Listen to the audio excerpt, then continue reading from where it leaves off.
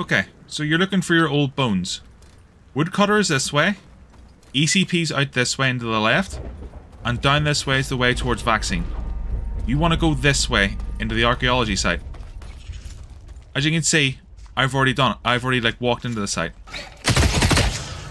Down here, you have one set under the desk. You have one set on these barrels. And you have a set down here behind.